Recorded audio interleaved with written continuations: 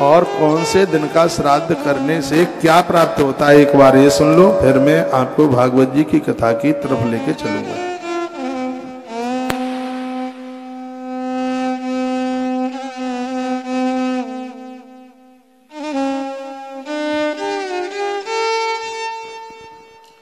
राधे राधे, कौन सी तिथि में कौन सा दान करने से कौन सी वस्तु की प्राप्ति होती है? वो आप सुन लेंगे तो आपको बड़ा अच्छा लगेगा, बढ़िया लगेगा। कुर्बान पूर्णमास्याम च पूर्व पूर्णम समस्मृति प्रतिबद्धन लाभाय लब्धम चाशन नश्यति। बहुत ध्यान से सुन लीजिए। क्या कहा गया है?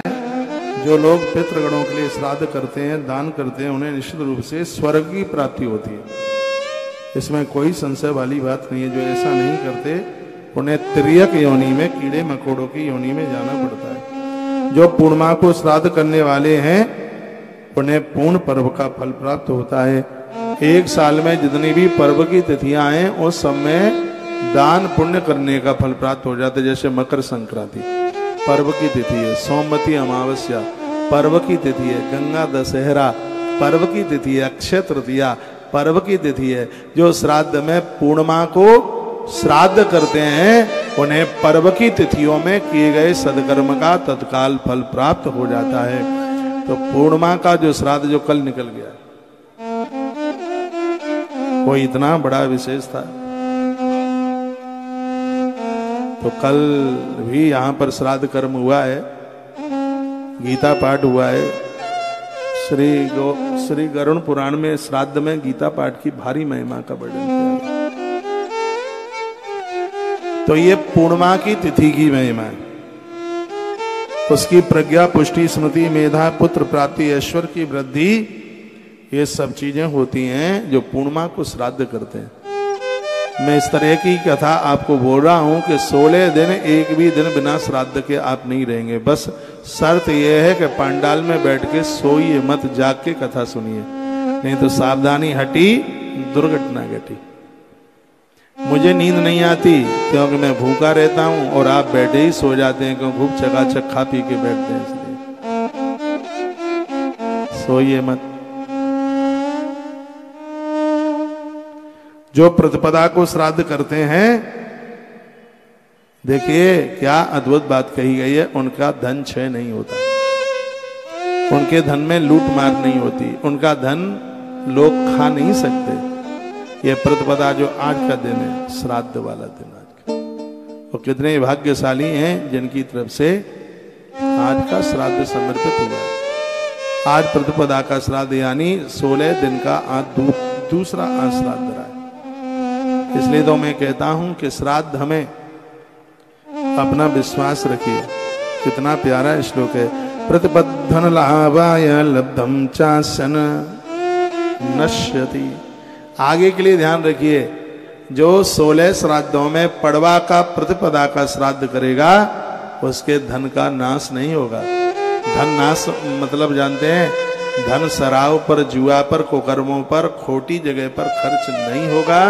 यह भगवान गरुण देव की आवाज़ भगवान गरुण देव श्रोता भगवान नारायण देव की आवाज़ है। इधर वायु देवता भी इस कथा को अद्भुत ढंग से तरीके से सुना रहे ये वायु पुराण इसलिए है, जो भी ब्राह्मणों को जिमाया जाता है, अग्नि और वायु देव ही तो पितरों के पास तक पहुंचाते हैं वायु देव और अग्निदेव का यह काम है। पितरों के पास तक पहुँचाने का कार्य उनका है। क्या सुंदर बात कही, उनके धन का नाश नहीं होता। उनका धन गलत रास्ते पर खर्च नहीं होता, जो अपने पूर्वजों के लिए प्रतिपदा को श्राद्ध करते दस नंबर का श्लोक है और अध्याय नंबर है उन्नीस। वायु पुराण आप अपने घर में रखते हैं तो अपने घर पर आप ये पढ़ सकते हैं। और मेरी तो व्यासपीठ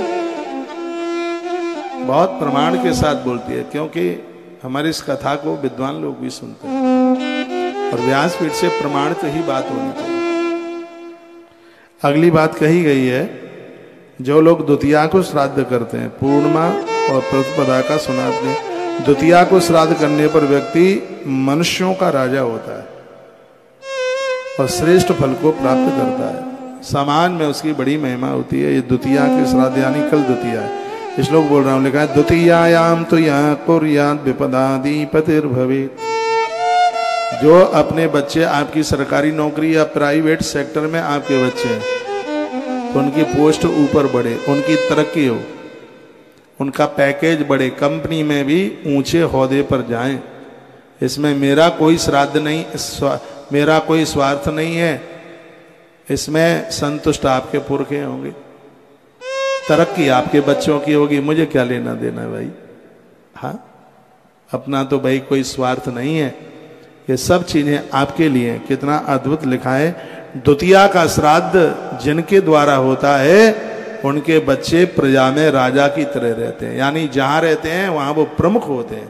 श्राद्ध आप कर रहे हैं संतुष्टि पूर्वजों को हो रही है और तरक्की आपकी औलाद की हो रही है भैया। कितने फ़ायदे हैं इसमें। और ये सिर्फ़ आपको बताने की बात नहीं है। तुलसी वन आश्रम में सोलह दिन दोपहर को कच्ची रोटी नहीं बनती प्रत्येक दिन श्राद्ध होता है। यहाँ से भी ज़्यादा भीड़ ब्राह्मणों की वृंदावन में हमारा गुरुकुल का तो एक भी बच्चा आया ही नहीं है। सब गुरुकुल में ही है। और चकाचक रसोई, शुद्ध देसी घी की रसोई, घी, दूध, दही से निर्मित रसोई। आनंद तो दुनिया में बहुत जगह होंगे, लेकिन गौ तीर्थ तुलसी तपोवन गौशाला में कुछ ज़्यादा विशेष ही आनंद है। छोटी छोटी सहयोग राशियाँ लेकर के और आपके द्वारा इतने अद्भुत काम करा दिए जाते हैं। क्यों? इसलिए क्यों घी खरीदना नहीं पड़ता, दूध खरीदना नहीं पड़ता, दही खरीदना नहीं पड़ता, सब्ज़ी में आलू खरीदने नहीं पड़ते। गौ माता की ज़मीन में इतना आलू हो जाता है कि पूरा साल भर तक भंडारा चलता रहता है। इसलिए थोड़ा कम पैसे में उसका एवरेज आ जाता है। चलते रहते हैं भंडारे। तो ये द्वितीया भी मुझे बड़ी अच्छी लगी है। द्वितीया कल है। तो द्वितीया के श्राद्ध को मैं तो कहूँगा, भले ही तुम्हारे यहाँ कोई श्राद्ध नहीं पड़ रहा है, द्वितीया के श्राद्ध की बुकिंग आज से ही आप करा दें। खाली श्राद्ध, ग्यारह सौ रुपए का छोटा सा सहयोग है, उसमें तर्पण, गीता पाठ सब मिला करके देवावतियों के साथ सब इक्कीस सौ रुपया। यदि आपसे व्यवस्था बनती है तो इक्कीस सौ रुपया, नहीं तो खाली ब्राह्मण भोजन दक्षिणा के साथ सिर्फ़ ग्यारह सौ रुपए का सहयोग द्वितीयायाम तो यहाँ कुर्याद द्विपदाधिपतिर्भवेत। इससे व्यक्ति एक अधिपति बनता है। जिस जगह पर भी रहता है, वहाँ उसका होदा रहता है। प्रमुख बन करके वहाँ रहता है। यह महिमा द्वितीया के श्राद्ध की है। ये सगरे श्राद्ध आएँगे, ये आप बस कागज़ में लिख लेना और जिस दिन की तिथि आपको ज़्यादा मलूक लगे और उस दिन आपको तो मेरे लिए तालियाँ बजानी चाहिए, इसलिए तुम्हें जो जानकारी नहीं है और आपसे अच्छे अच्छे काम कराए जा रहे पूरा ग्रंथ संस्कृत में मेरे सामने रखा है। संस्कृत पढ़ने का भी बड़ा आनंद है अपने आप और आज श्राद्ध कौन सी तिथि में, कौन सा श्राद्ध? कौन सी तिथि में श्राद्ध करने से कौन सा फल, कौन सा पुण्य प्राप्त होता है? यह बात निवेदित की जा रही है। तो द्वितीया की बात आपने सुनी, वरार्थना तृतीया तू शस्त्रुग्नि पापनाशिनी यह भी बड़ा अद्भुत है। तृतीया के श्राद्ध के लिए भी बड़ी अच्छी बात कही गई है। क्या कहा गया? तृतीया के लिए कहा गया है कि तृतीया के श्राद्ध का फल क्या है? इससे शत्रुओं का नाश हो जाता है। ये शत्रुओं का नाश करने वाली ये तिथि है। आपको लगता है हमारे लिए दुश्मन बड़े हैं, पड़ोसी परेशान करता है।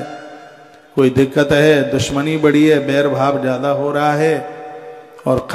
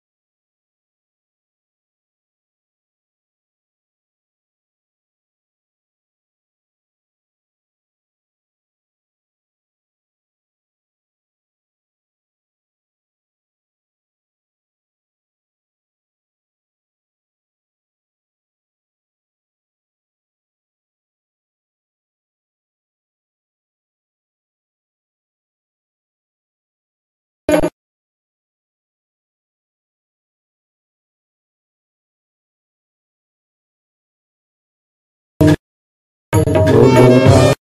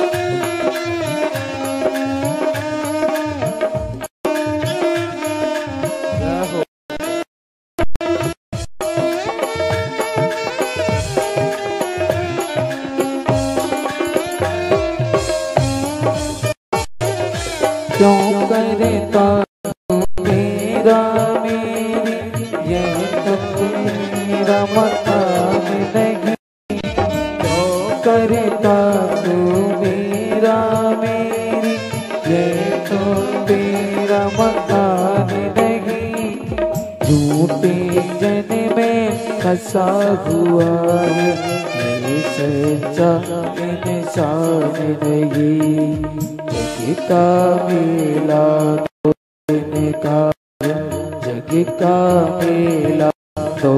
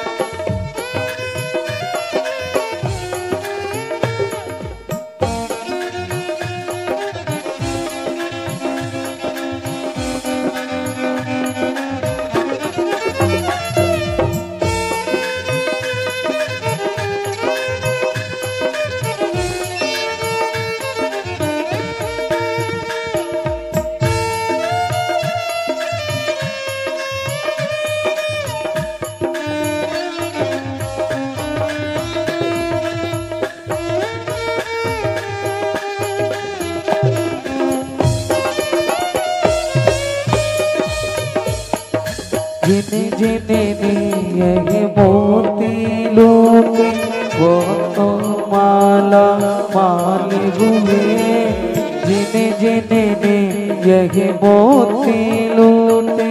वो तो माला माल हुए धन दौलत के बने पुजारी आखिर वही कंकाल हुए जिस जिसने ये मोती लूटे।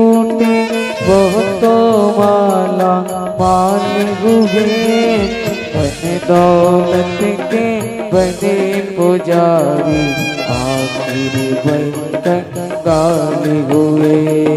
चांदी सोने वाले सुन लो, चांदी सोने वालों सुन लो। बात सुनाओ हरी करे ले लो रे कोई रात प्यारा।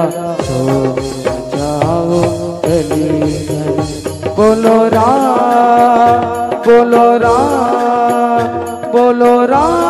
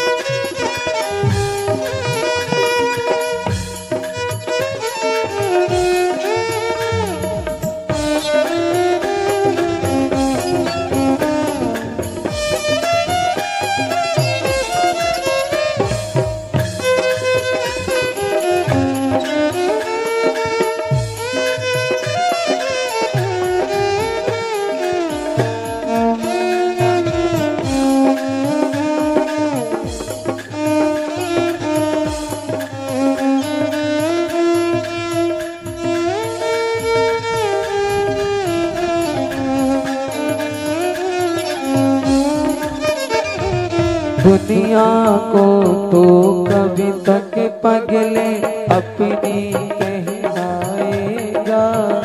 दुनिया को तो कभी तक पगले अपनी तू कहलाएगा।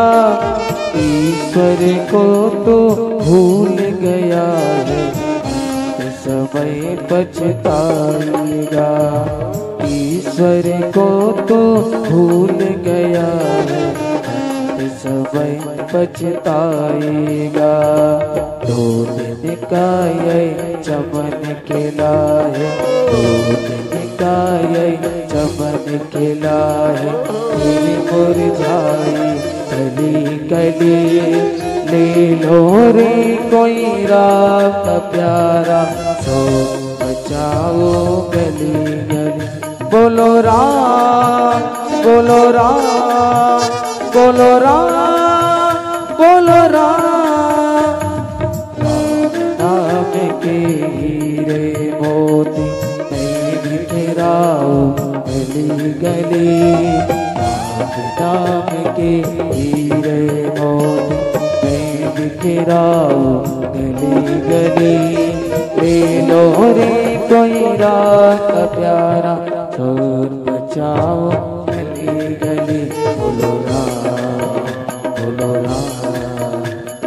राम बोलो राम बोलो राम बोलो राम बोलो राम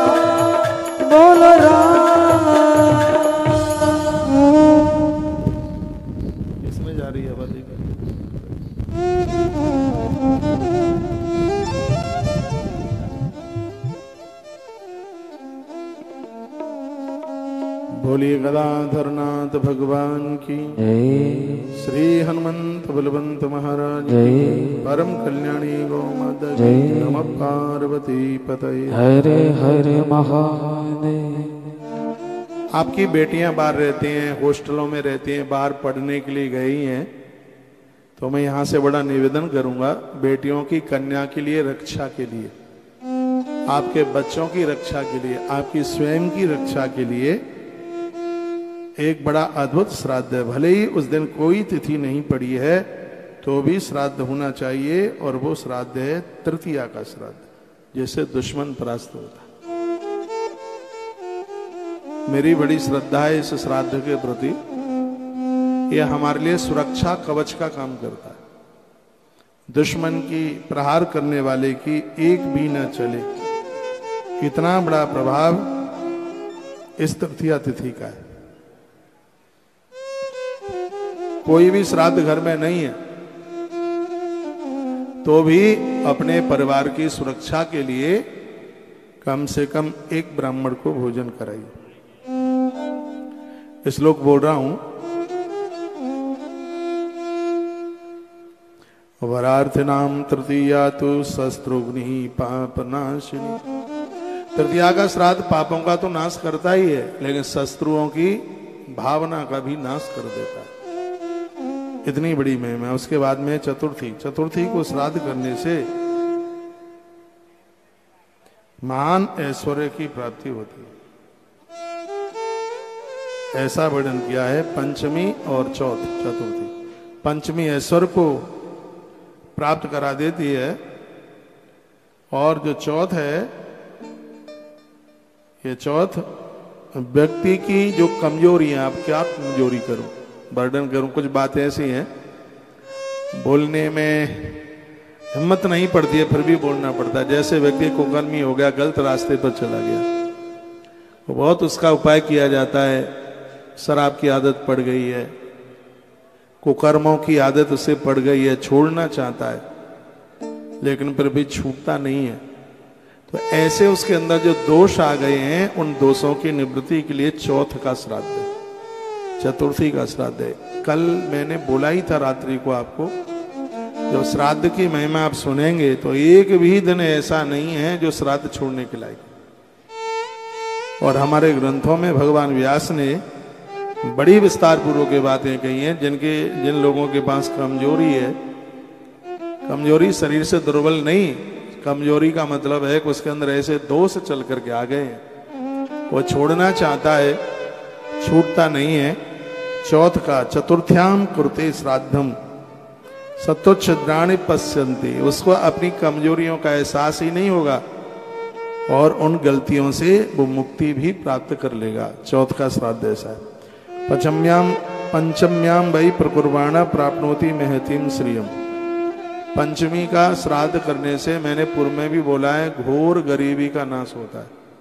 जैसे सातमुखी रुद्राक्ष घोर गरीबी को समाप्त करता है श्राद्ध पक्ष में पंचमी का जो श्राद्ध है, वो घोर गरीबी का नाश करता है। दरिद्रता को समाप्त करता है। घर में धन टिकता नहीं है। व्यापार चल नहीं रहा है। सब कुछ फैल हो रहा है। कुछ अब बन भी नहीं रहा है। अब क्या करें? तो उसके लिए नोट कर लें, कलम से कागज़ पर लिख लें और लाल पट्टी पर जो माताएँ बैठी हैं, वो हरी पट्टी पर बैठ जाए। इधर आ जाइए, ऐसे आ जाइए। मेरी नाक के सीध से इधर आ जाए नहीं मेरी नाक नहीं पक जाए आज इधर आ जाए हाँ और आ जाए अभी नाक के सीधे। थोड़ा सा है ठीक है अब ठीक है। बुलबा के बिहारी लाल की जय श्री हनुमान जी महाराज जी जय जय श्री कोई आपके सामने बैठने से कोई नाक थोड़ी ही पकेगी। मैंने तो इसलिए बोल दिया नाक पकने के लिए कि आपको लगे कहीं महाराज की नाक पकी ना जाए इसलिए आगे से हमें दर बैठ गए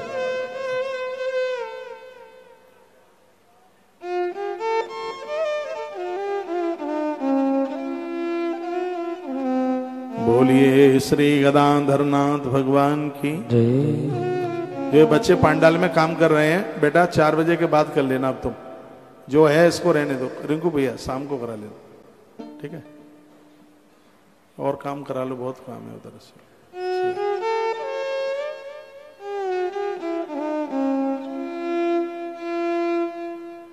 पंचमी का श्राद्ध, भारी श्रद्धा है इसके प्रति। जब भी मेरे पास कुछ ऐसे लोग आते हैं, कहते महाराज जी, व्यापार चल नहीं रहा है, काम चल नहीं रहा है, खूब मेहनत करते हैं। प्रोग्रेस नहीं हो रही, उत्कर्ष नहीं हो रहा तो मैं उन्हें कहता हूँ कि जब श्राद्ध पक्ष, पितृपक्ष सोलह दिन आवे, उस दिन ब्राह्मण को भुला करके ठीक समय पर मध्यान्ह के समय में दक्षिण की तरफ़ मुख करा के उसका, उसे भोजन कराएँ और श्वेत वस्त्र उसको दान में दें। जहाँ वो बैठ रहा है, वहाँ पर भोजन के लिए वहाँ तिल का थोड़ा छिड़काव कर दे।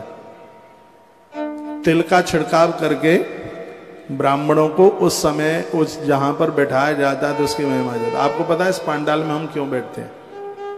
इस पांडाल में हम ब्राह्मणों को भोजन क्यों कराते हैं? यही तो हमने इसमें पढ़ लिया। यहाँ कहीं न कहीं तिल पड़े रहते हैं।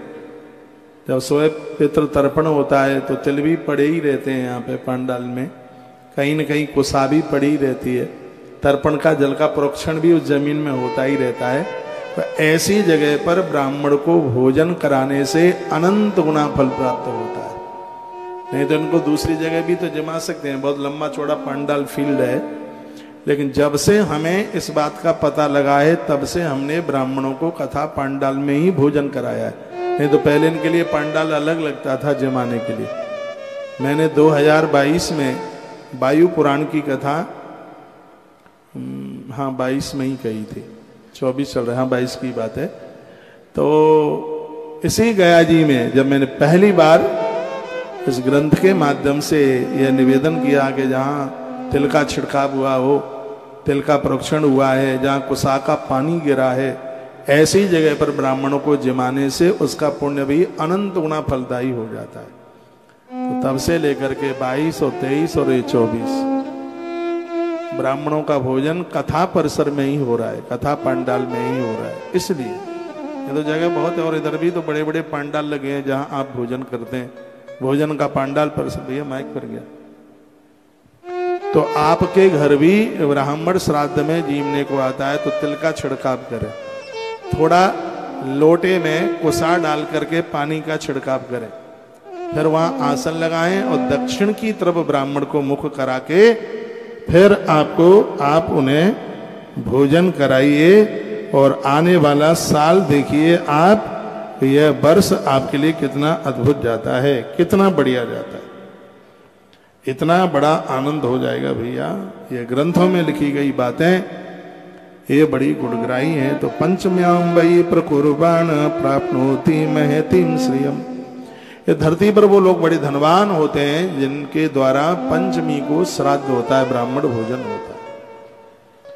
दो तीन दिन बाद पंचमी आ रही है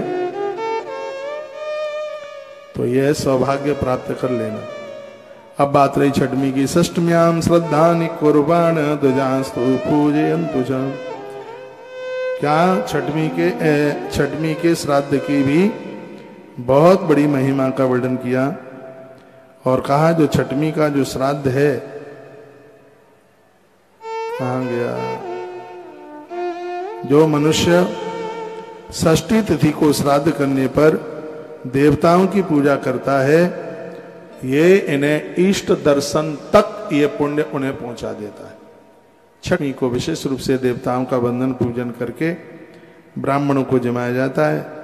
जो मनुष्य सदा सप्तमी को श्राद्ध करता है उसे श्रेष्ठ यज्ञ करने का फल प्राप्त होता है।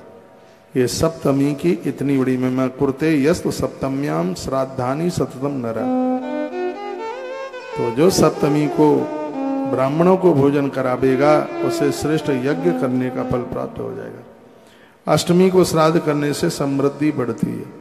संपदा बढ़ती है, पैसे में कमी नहीं आती, उसमें वृद्धि होती है। धन बढ़ता रहता है।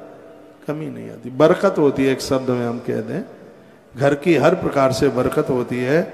यह अष्टमी के श्राद्ध की बहुत बड़ी महिमा है। आप छोटा सा भी काम करने को जाते हैं, वो छोटे ही बड़ा हो जाता है। यह अष्टमी की महिमा बहुत लोगों को अष्टमी सिद्ध हो जाती है। मुझे लगता है कि अष्टमी मुझे भी सिद्ध हो गई है भगवान की कृपा से। अपना उसमें कुछ भी नहीं है। छोटा काम करने के लिए जाते हैं और वो बड़ा हो जाता है। बरकत इतनी होती है 200 के लिए बनाओ तो 400 जीम जाते हैं, आश्रम में भी। ये अष्टमी की इतनी बड़ी महिमा मैं अष्टमी को बहुत मानता हूँ। मेरा तो जन्म ही अष्टमी को है। शीतलाष्टमी का जन्म है मेरा। मार्च में शीतलाष्टमी पड़ती है। होली के आठ दिन के बाद। मैं अपनी तिथि में बड़ी श्रद्धा रखता हूँ। शीतला माँ को दुर्गा माई को गुड़गामा वाली मैया को बड़ा याद करता हूँ। टाइम तो मिलता नहीं है वहाँ जाने के लिए। जब भी मैं गुड़गामा की तरफ़ गया हूँ तब शीतला मैया का मैंने दर्शन किया है। क्योंकि शीतला माता की कृपा से मेरी माँ ने मुझे जन्म दिया। मेरी माँ ने कहा था बेटा तेरे जन्म पर मुझे कोई कष्ट नहीं हुआ। मैंने कहा माँ तो इसका मतलब है मैं बड़ा पुण्यवान हूँ। हाँ, नहीं तो बच्चे को जन्म देते समय मैं अपनी कोई बड़ाई नहीं कर रहा हूँ, मैं अपनी माँ के बोल बोल रहा हूँ। नहीं तो बच्चे को जन्म देते समय भारी कष्ट होता है, बहुत दिक्कत, बहुत परेशानी होती है। लाखों लाखों बिच्छू डंक मारे, इतनी वेदना, इतनी दिक्कत, इतनी परेशानी होती है। हम भाग्यशाली हैं, यदि हमसे किसी को कष्ट नहीं है, चाहे माता पिता हो, चाहे समाज हो, चाहे आप भक्त लोग हो, चाहे और भी कोई हो, हमारा भाग्य तो इसी में ही है। कि हमसे किसी को कष्ट नहीं होना चाहिए किसी भी प्रकार का। तकलीफ़ नहीं होनी चाहिए किसी भी प्रकार की। तो जो अष्टमी है, वो बड़ी विशेष है। बहुत लोग तो माताएँ, बेटियाँ तो अष्टमी का व्रत करती हैं, पुरुष लोग भी अष्टमी करते हैं। दुर्गा की अष्टमी, सोमवार को अष्टमी पड़ जाए, वो अष्टमी बहुत करने के लायक है। बुधवार को अष्टमी पड़ जाए, बहुत बहुत विशेष है। रविवार को सप्तमी पड़ जाए, उसकी बड़ी महिमा है। तो सोमवार को अष्टमी और बुधवार को अष्टमी, ये दोनों ही अपने आम में बड़ी विशेष हैं। तो वर्णन किया गया, अद्भुत बातें कही गई। कहा जो अष्टमी का जो व्रत करते हैं, उन्हें हर प्रकार की बरकत होती है। श्राद्ध करते हैं अष्टमी को, उन्हें हर प्रकार की समृद्धि प्राप्त होती है। नवमी तिथि को श्राद्ध करने पर प्रभुत्व ऐश्वर्य इच्छानुसार चलने वाली, देखो कितनी सुंदर बात कही है, नवमी के दिन जो घरों में श्राद्ध होता है, उस घर की स्त्रियाँ लड़ाई नहीं लड़ती, झगड़ा नहीं करती। कभी पति से युद्ध नहीं करती। पुरुष लोग यदि हमें सुन पा रहे हों और तुम्हारी घरवालियाँ लड़ाई करती हैं, झगड़ा करती हैं तो नौमी का श्राद्ध ऐसा है जहाँ घर के झगड़े बंद हो जाएँगे दो तीन बातें तो मुझे याद में है ही। पिता पहले गए हैं, माँ बाद में गई है। उसके लिए नवमी का श्राद्ध थी। कोई भी पढ़े, नारी वर्ग के लिए नवमी का श्राद्ध बहुत अद्भुत है। वायु पुराण में लिखा है कि घर की स्त्रियाँ जिनसे बन नहीं रही है, झगड़ा हो रहा है, पियर में जाकर के बैठ गई हैं। वो भले ही ऐसा नहीं हुआ है, लाख बात की बात यह है कि नवमी का श्राद्ध करने से घर की नारी रूठ कर घर छोड़ करके नहीं जाती। ये बहुत बड़ी महिमा है नवमी के साथ। आपके घर में भी बहुओं का रुतबा ज़्यादा है। आ? मानती नहीं है, झगड़ा करती है, कलह करती है, लड़ाई करती है। और तुम्हारा बेटा तो बहू के सामने भींगी बिलैया की तरह, बिल्ली की तरह बैठा रहता है। तो भगवान की कृपा से ये सब चीज़ें जो लिखी हैं, कहीं ना कहीं से गुड़गराई हैं, ये लाभकारी है। तो उसमें ऐसा खर्चा भी क्या होता है? एक ब्राह्मण को ही तो जिमाना है। तो नौमी के श्राद्ध की, नवमी के श्राद्ध की बहुत बड़ी महिमा है। इसमें यह वर्णन किया गया, नवम्यम श्राद्धम, नवम्याम कुर्बाण, ऐश्वर्यम कांचता स्त्रियम स्त्रियाँ झगड़ा नहीं करती कले नहीं करती। ऐश्वर्य बढ़ता है और कुर्बन दशम्याम, तू नरो ब्राह्मी स्त्रिया याम आप में तत्पश्चात दसवीं के श्राद्ध की भी बात कही। दसवीं का श्राद्ध करने पर ब्रह्माणी और लक्ष्मी की कृपा प्राप्त होती है। ब्रह्माणी की कृपा से बच्चे विद्वान और लक्ष्मी मैया की कृपा से बच्चे धनवान हो जाते हैं। ये दसवीं के श्राद्ध की महिमा। समझ में आ रहा है, है? भूखे हो तो भोजन कर लो चल रहा है अभी। रसोई चल रही है। कथा सुन लो। बोलो बांके बिहारी लाल की। श्री हनुमंत बलवंत महाराज। जय जय श्री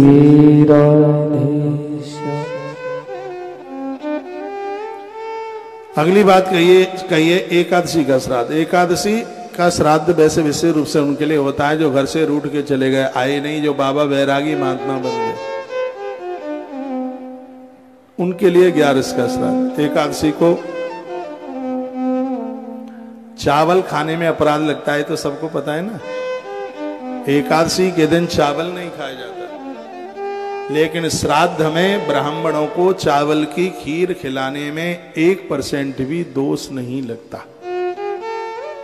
ये बातें जानकारी में होनी चाहिए। यदि किसी ब्राह्मण का व्रत है तो बिल्कुल मत खिलाइए। यदि वह एकादशी का व्रत नहीं करता है और आप श्राद्ध कर रहे हैं तो श्राद्ध वाले दिन उन्हें भोजन स्वादिष्ट मिष्टान भगवान जैसे देवताओं को अन्न का भोग लगाने का कोई दोष नहीं लगता। उसी प्रकार से श्राद्ध में एकादशी के दिन ब्राह्मणों को पूड़ी और खीर जमाने में, खिलाने में कोई दोष नहीं लगता, पुण्य ज़रूर लगता है। दोष तो कोई नहीं लगता। उस दिन दो प्रकार के भोजन की व्यवस्था रखी है यहाँ भी ऐसा ही होता है। वैसे हर एकादशी को तुलसी वन आश्रम में भोजन नहीं बनता बिल्कुल। हर एकादशी को, ग्यारस को भोजन नहीं बनता। वहाँ तो काम करने वाले सब, ऑफ़िस के लोग भी सब लोग व्रत करते हैं। ग्यारस के दिन अन्न पकता ही नहीं है तो खाएँगे कहाँ से? लेकिन श्राद्ध में गया जी की धरती पर चकाचक फलियार भी बनता है और चकाचक भोजन भी बनता है। जिसका व्रत है, वो फलियार वाली चीज़ें लीजिए। और जिसका व्रत नहीं है, वो आहार वाली, अन्न वाली चीज़ लीजिए, दोनों चीज़ें बनती हैं। क्योंकि एकादशी श्राद्ध में पड़ी है तो जिन लोगों का ग्यारस का व्रत नहीं है, एकादशी के दिन उन्हें अन्न खिलाने में किसी भी प्रकार का कोई अपराध नहीं लगता। एक बार जयकारा लगाइए बुलबांके बिहारी लाल की। हमारे वृंदावन में भी ऐसे बहुत देवालय हैं, एकादशी के दिन अन्न का भोग। भगवान को तो दोष लगता ही कहा है अन्न का? ईश्वर को नहीं जगन्नाथ भगवान को इसलिए ग्यारस के दिन अन्न का भोग लगता है। शायद बिहारी जी को भी लगता है। तो भाई, बताए तुम्हें? है? बाकी बिहारी जी को लगता है ना? बिहारी जी को, राधा रमन जी को? राधा वल्लभ जी को लगता है। इन्हें ग्यारस के दिन, लेकिन इसका मतलब ये नहीं भगवान को भोग लगे तो आप भी चार फुलका लेना आरंभ कर दें। आपके लिए नहीं है, भगवान के लिए।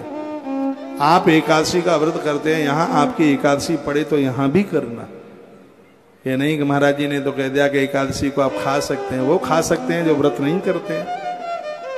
जो व्रत करते हैं, वो नहीं खा सकते हैं।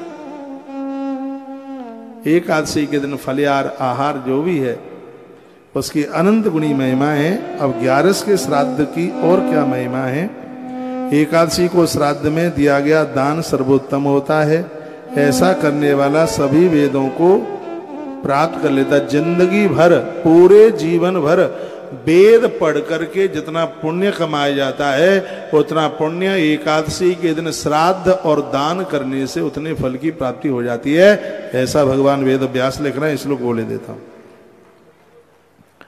क्या लिखा है? एकादश्याम परम दान ऐश्वर्यम सततम तथा। परमेश्वर प्राप्त होता है। और क्या है? उन्हें वेदांश अपनियाश्याद विप्राण समनिस तथा विद्वानों को वेद दान में देने का फल, ज़िंदगी भर वेद पढ़कर पुण्य प्राप्त करने का फल तत्काल प्राप्त हो जाता है। जो ग्यारस के दिन, जो एकादशी के दिन ब्राह्मणों को भोजन कराते हैं। ये तो आप सब भूल जाएँगे, टेलीविज़न पर जितने भी मुझे लोग सुन पा रहे हैं, ये तिथियाँ तुम भूल जाओगे। हमें कह दीजिए, पूरे सोलह दिन का दिन भर का भंडारा चले, ग्यारह हज़ार रुपये का सहयोग है, और एक बार का भोजन चले, इक्यावन सौ रुपये का सहयोग है, पूरा सोलह दिन का। एक टाइम का भंडारा प्रसाद, पाँच हज़ार एक सौ रुपये का सहयोग और पूरे दिन भर का है, वो ग्यारह हज़ार रुपये का सहयोग है। तो उसमें भी सब वर्णन है कि सुबह, दोपहर और शाम, जैसे पूजा का महत्व है, उसमें भोजन कराने की भी महिमा का वर्णन किया गया। एक बार जयकरा लगाइए, बुलबांके बिहारी लाल की। यदि आपको लोड नहीं पड़ता है तो आश्रम के सभी नंबर चालू हैं। ये पुण्य, ये सौभाग्य कमा लें गीता जी का पाठ और पितर पक्ष में बहुत आनंद की बात होता है। बहुत और देखो जो भगवान कराता है पता नहीं कैसे प्रेरणा दे देता है। मैंने यहाँ से सुबह अनाउंस किया था कि एक पीतल की थाली उसमें ब्राह्मण भोजन करते रहे। और मैंने एक छोटा सा अनाउंस कर दिया आपने उसको सुना। कुछ लोगों ने इसमें सहयोग भी किया।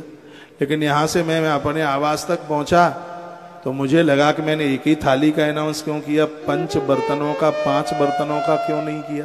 ये सही है जो मैं आपसे बोल रहा हूँ। मेरी अंदर से आवाज़ आ रही थी। एक ही थाली का क्यों? अब थाली में तो दोनों अच्छे नहीं लगेंगे। तो फिर तो अब थाली में हो बे भोजन और ये फेंकने वाले गिलासों में पिया जावे पानी। क्या बोलते हैं उसको? डिस, डिस्पोजल कहते हैं। हाँ बोले सुन ले बेटा। का थाली में इतनी सुंदर पीतल की थाली और उसमें डिस्पोजल ये तो बात कोई बनी नहीं। तो मन में बात आई कि ये तो पाँच बर्तन, और पाँच बर्तन की भी सोच करके बात आई, अरे महाराज युधिष्ठर, ब्राह्मण जिन बर्तनों में भोजन करते थे, वो तो सोने के पात्र होते थे तो ब्राह्मण उन पात्रों को अपने घर लेकर के चले जाते तो क्यों नहीं श्राद्धों में जिन बर्तनों में ब्राह्मण देवता भोजन करे, वो अपने अपने पात्रों को अपने घर लेकर के चला जाए। गया जी की धरती से आपको तो सच में मेरी व्यासपीठ के लिए ताली बजानी चाहिए। ये गदाधर भगवान के द्वारा ही कोई ऐसी प्रेरणा हुई? तो मैंने तत्काल फ़ोन किया, जो लोग गए, बर्तन लेने के लिए मैंने कहा, ऐसा ऐसा कर दो। तो मैं यहाँ ब्राह्मणों को जब दक्षिणा बांट रहा था, तभी फ़ोन आया।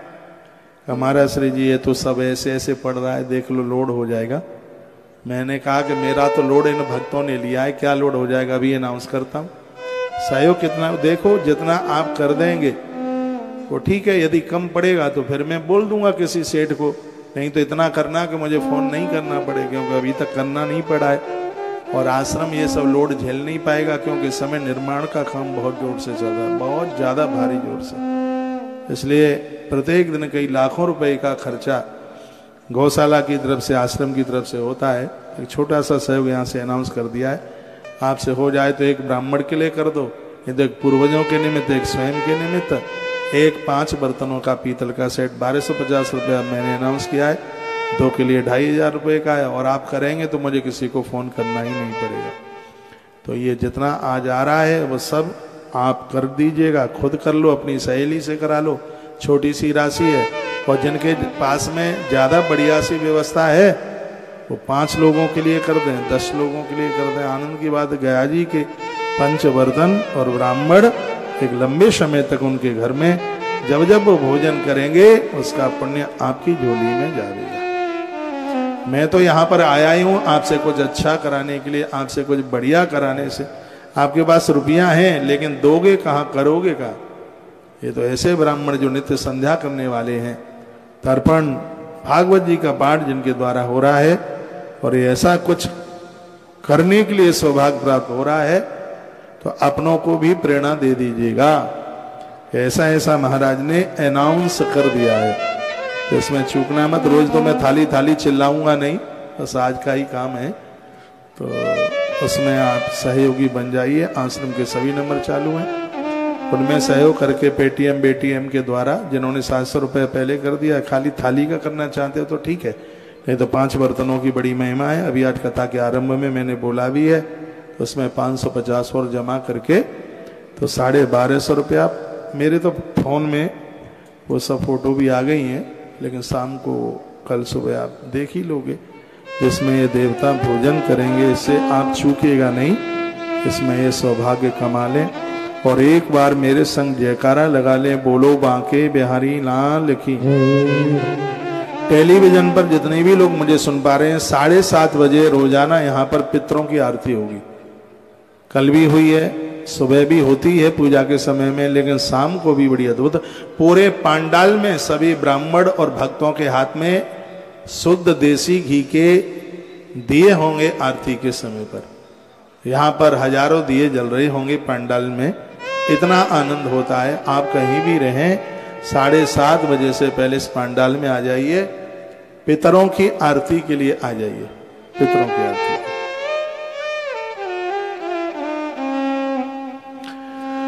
जिनके पास ठीक से बढ़िया सी व्यवस्था है वो इन पंच बर्तनों में पाँच हज़ार और ग्यारह हज़ार रुपए का भी सहयोग कर सकते हैं।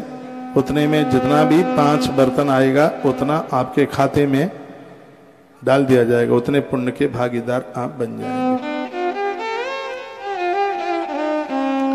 जहाँ तक मेरी आवाज़ जा रही है आप श्री गया जी में आए हैं कहीं भी आप रुके हैं चाहे इस कार्यक्रम में आए हों चाहे किसी दूसरे कार्यक्रम में आए हों दोपहर का भोजन, सुबह का नाश्ता, शाम का भोजन। नाश्ते में फलियारी मिलेगा अन्न नहीं मिलेगा, क्योंकि रसोई को जूठा नहीं किया जाएगा। अन्न पहले यहाँ ब्राह्मणों को ही प्रसाद में श्राद्ध, कर्म पूरा हो जाएगा।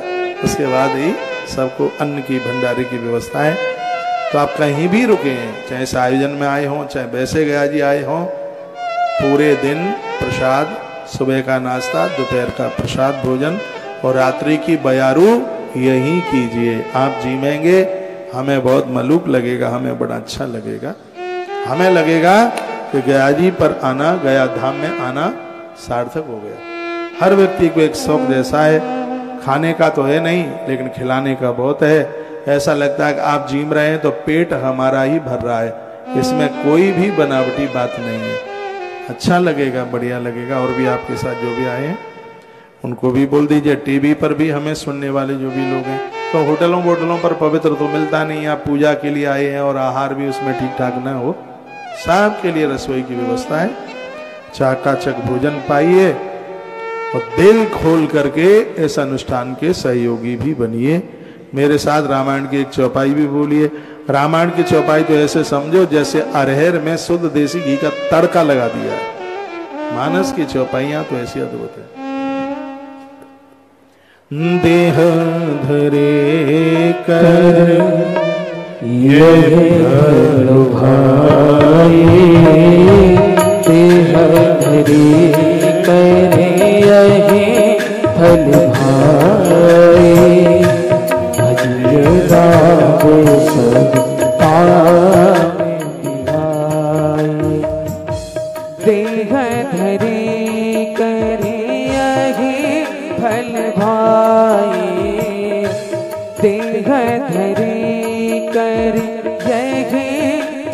भाई भजिए राम सबे काबे बिहाई। देह धरी कर यही फल भाई भजिए राम सब काबे बिहाई। श्री राम जय राम जय जय राम श्री राम जय राम जय जय राम। श्री राम जय राम जय जय राम। श्री राम जय राम जय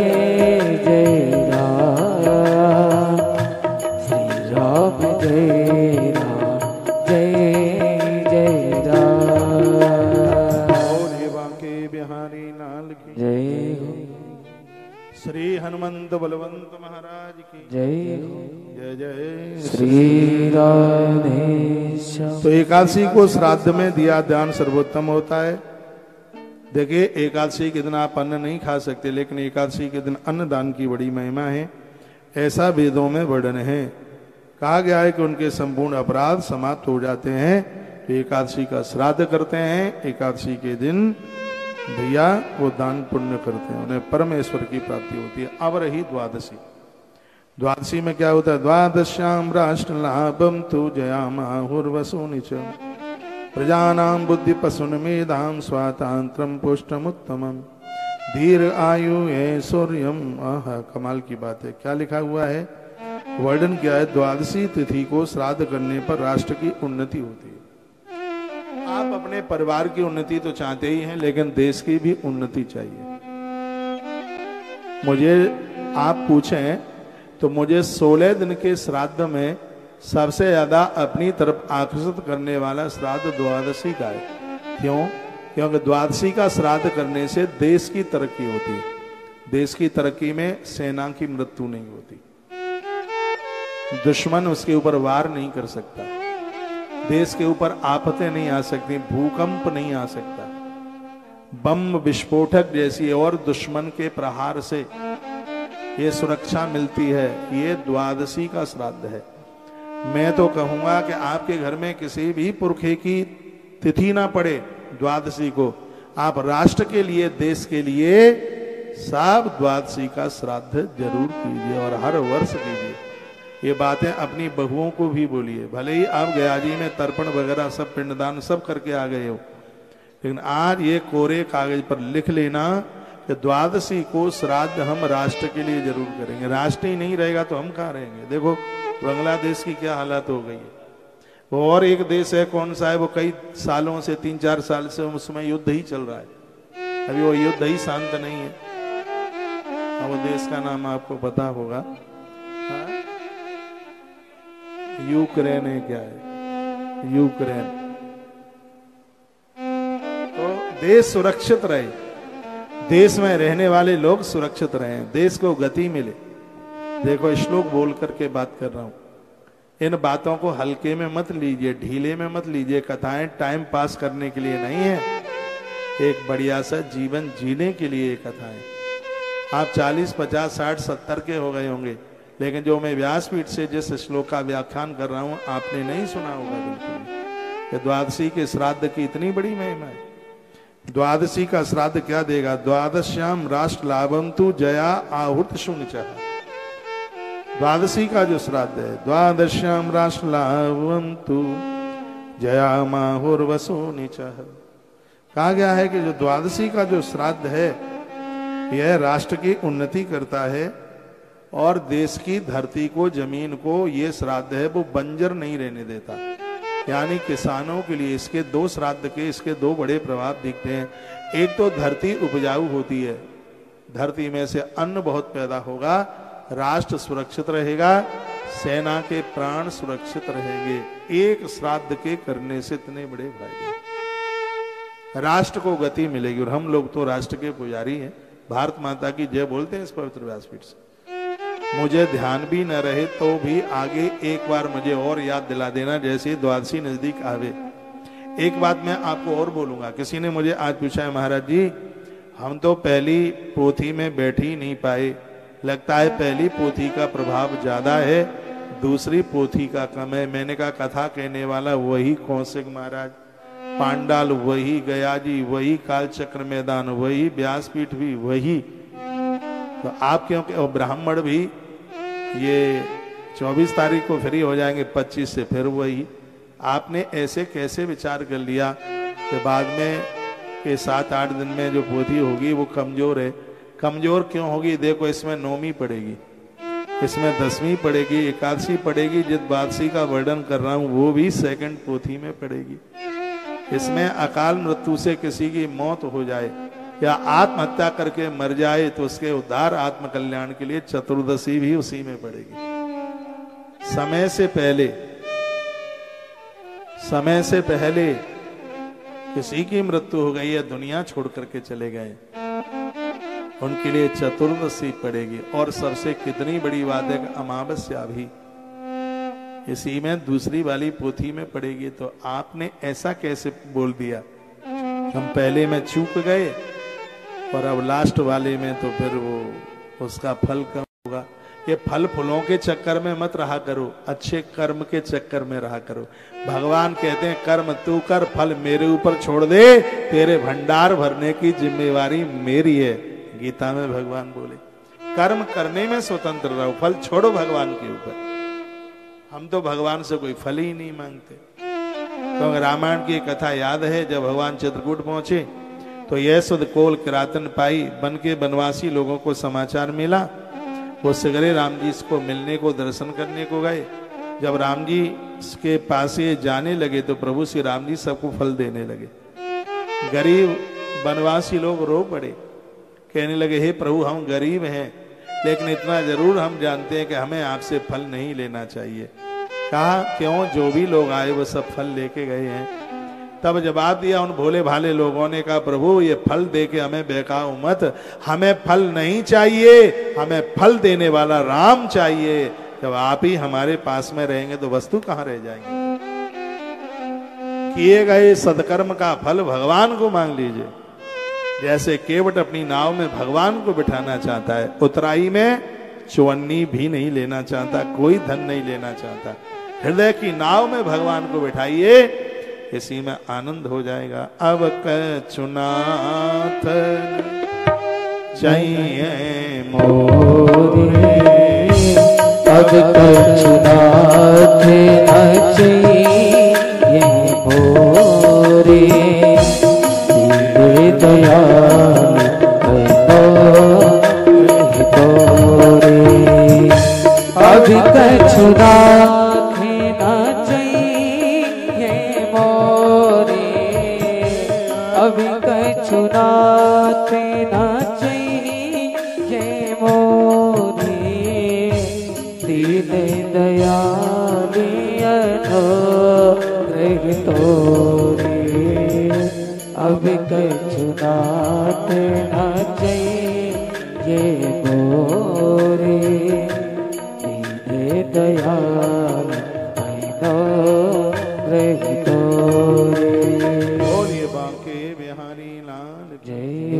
परमात्मा को प्रार्थना करके कही, अब हमें कुछ नहीं चाहिए, बस आप ये कह दो, बेटा, बिटिया, तुम मेरे हो, हम तो बस इसी में आनंद उत्पन्न आप इन ग्रंथों से कथाएँ सुन रहे हैं, आनंद भर देने वाली कथाएँ, द्वादशी के श्राद्ध की महिमा, ज़िंदगी की अंतिम श्वास तक कभी भूलना मत।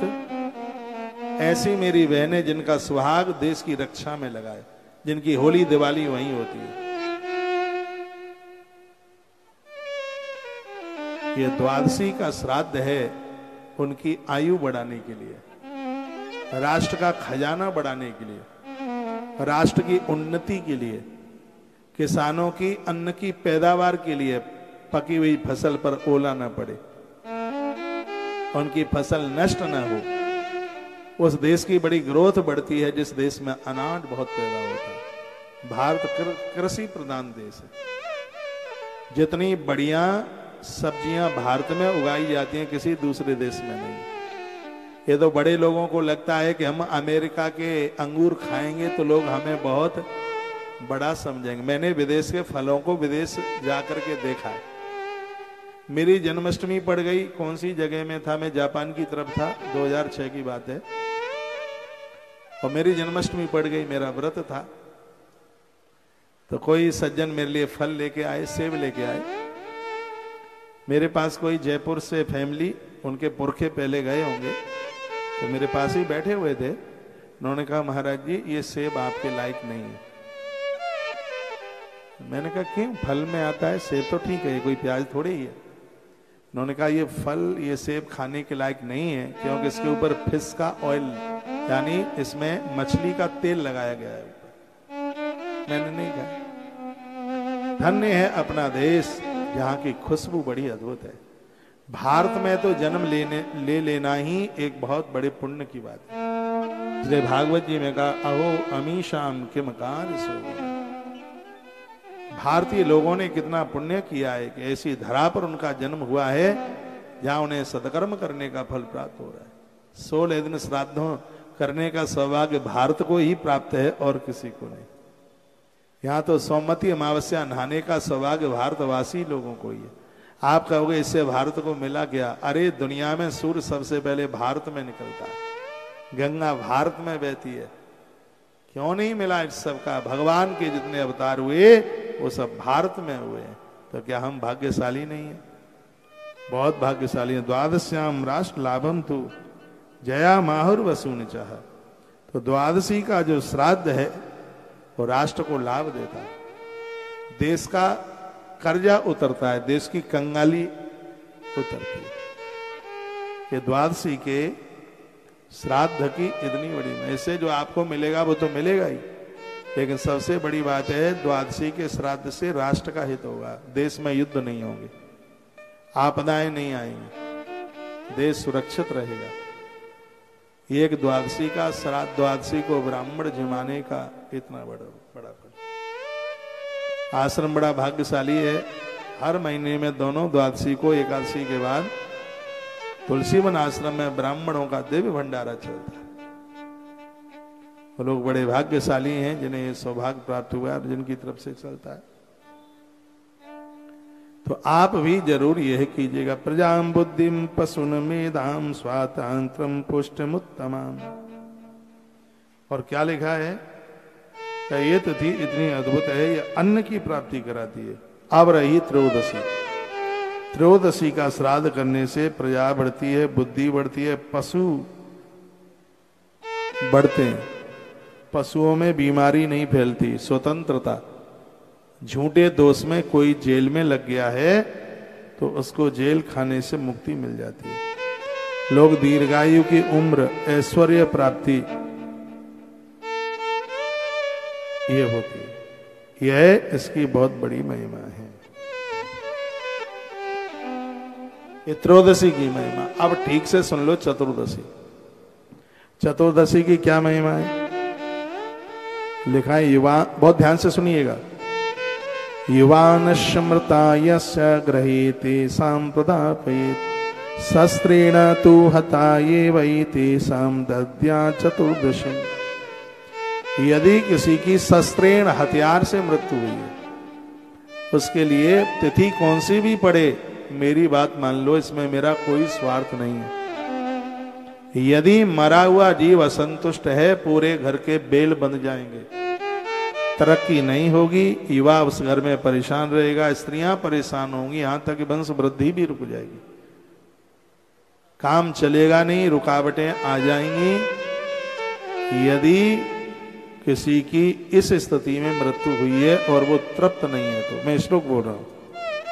देखा युवा स्मृता यशा ग्रहित शांत यदि जिस घर में किसी युवा जवान की मौत हुई है और हमारे ग्रंथों में 60 वर्ष से पहले किसी की मृत्यु हुई तो उसको युवा माना गया। भले ही वो आपकी दृष्टि में 25, 30, 35 साल में युवा है लेकिन गरुण पुराण के अंतर्गत हमारे धार्मिक महाविज्ञान में चेन्नई है। साठ वर्ष से पहले यदि किसी की मृत्यु हुई है तो उसको अपमृत्यु कहा गया छोटी ही उम्र उसको कही गई। और उससे और पहले के द्वापुर त्रेता सतयुग में तो सौ साल जीने की बात कही गई थी। कहा गया था कि धरती पर आया है तो सतम आयु सौ साल जी करके जाए। लेकिन कलयुग में उम्र कम है तो भी कलयुग में साठ वर्ष से पहले तो मृत्यु ना हो। यदि ऐसा हुआ है तो क्या लिखा युवान मृता यस्य ग्रहीति सांप्रदा उस घर के लोगों को चाहिए जिसके घर में युवाओं की मृत्यु हुई है। शस्त्रेण तू हता। शस्त्र से हुई है एक्सीडेंट में हुई है और असाध्य बीमारियों से। कैंसर हार्ट अटैक ये सब असाध्य बीमारियाँ आई हैं। इन बीमारियों से यदि किसी की मृत्यु हुई एक्सीडेंट में मौत हुई, पानी में डूब करके मृत्यु हुई, शस्त्र से मृत्यु हुई, बीमारी से मृत्यु हो गई तो तेसाम दध्या चतुर्दशीम उनके उद्धार के लिए, उनकी शांति के लिए, उनके कल्याण के लिए श्राद्ध में चतुर्दशी का श्राद्ध बहुत अद्भुत है। मान लो मेरी बात कान की ढबोलियाँ खोल के बाद सुन लो, कोई नहीं सुनाएगा तुम्हें बात है। सुनाई हो तो वीडियो भेज देना मुझे। आप सब आनंद में रहे, हमारा आनंद यही है। हम तो जो भी कुछ कर रहे हैं, वो सब आपके आनंद के लिए। आप आनंदित मगन है तो हम तो अपने आप ही आनंद में आप सुख में होंगे तो ही तीर्थ यात्रा होगी, दान पुण्य होगा। आप सुख में होंगे। उधर घर में बच्चे परेशान है, तुम थैला लेके वृंदावन चल पड़ो। पहले तो जाने का मन ही नहीं होगा।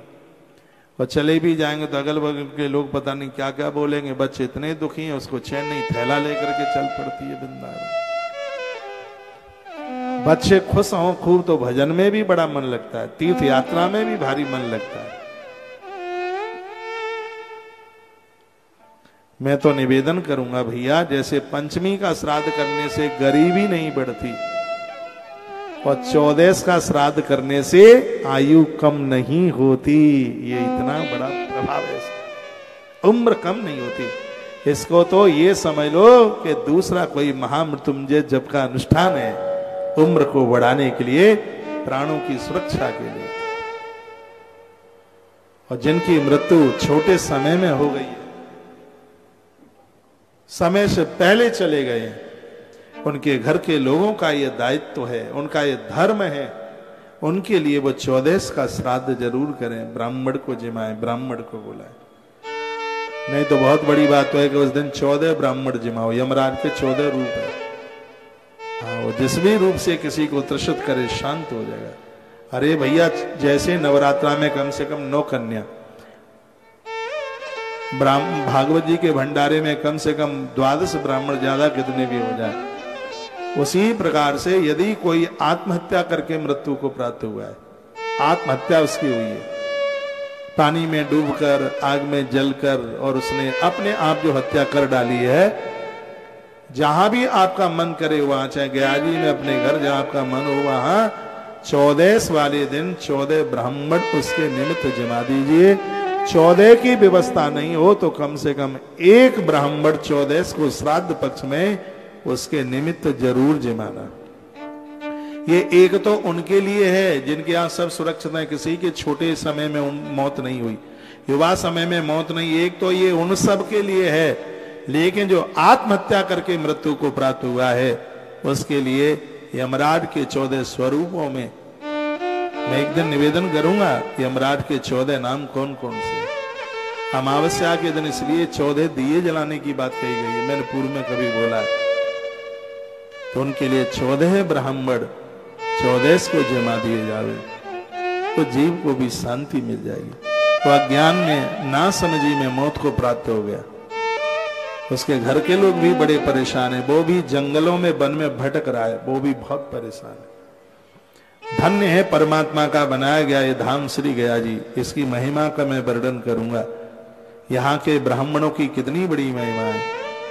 बाहर के ब्राह्मणों से तर्पण, भागवत जी का पाठ, ये सब कुछ होता है। फलदायी है, लेकिन पिंड दान गया जी के ब्राह्मण से ही होता है। कभी आप अपने यहाँ से ब्राह्मण लेकर के आए पिंडदान कराने के लिए। तो गया क्षेत्र के, बाहर के, ब्राह्मण के द्वारा यहाँ पिंडदान नहीं लगता। ऐसा वायु पुराण के अंतर्गत लिखा है, वर्णन है स्पष्ट। जो पिंडदान है, उसके लिए गया क्षेत्र का ही ब्राह्मण चाहिए। इनको वरदान मिला है, पूरी दुनिया को तर्पण करने की ज़रूरत पड़ती है। लेकिन जो गया जी में ही पैदा हुआ है उसके तो पुरखे अपने आप ही तृप्त होते हैं, उन्हें तो तर्पण इत्यादि करने की ज़रूरत नहीं पड़ती। वरदान मिला इस धरती को। इस धरती पर रहने वाले लोगों को ऐसा ये वायु पुराण में सबसे ज़्यादा कथा, श्री गया जी की कथा कही गई है इसमें। मैंने पूर्व में भी आपको सुनाई है और इस बार भी 2024 में भी मैं आपको सुना रहा हूँ। कुछ गरुण पुराण की बातें कहूँगा, वायु पुराण की बातें कहूँगा और भागवत तो आपको सुनाऊँगा भागवत तो पूरे वर्ष भर आप सुनते ही रहते हैं, लेकिन गया जी की भागवत की महिमा है। इसलिए हम श्री गया जी में हर वर्ष आपको, आपके पूर्वजों को कथा हम सुनाते हैं। हमने सभी के पुरखों का आह्वान किया और आपसे भी बढ़िया तरह से वो सुन रहे हैं।